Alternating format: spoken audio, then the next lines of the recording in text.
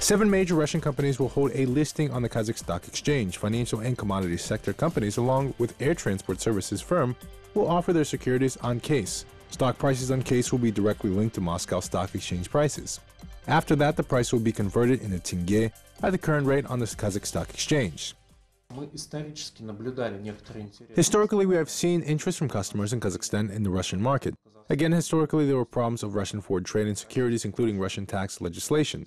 In open trade transactions involving securities on KASE, the tax incentives provided by the legislation of Kazakhstan will be fully applied.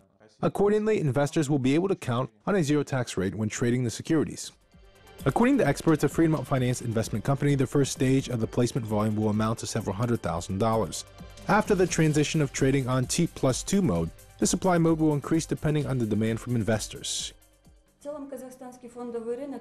In general, the Kazakh Stock Exchange is in need of growth drivers. A listing of several Russian securities that are liquidity valid top-end tools on the home market is, of course, a move that could serve as a strong driver. шаг, который может послужить одним из таких драйверов, причем драйвером достаточно сильным. Shares of Russian companies can be bought in any quantity. Minimum lot is equal to one security. Trading is scheduled to begin after April 15th. Experts say that in addition to investment income, stockholders can count on dividends. In the long term, it is planned that six more companies will enter the Kazakhstan stock market.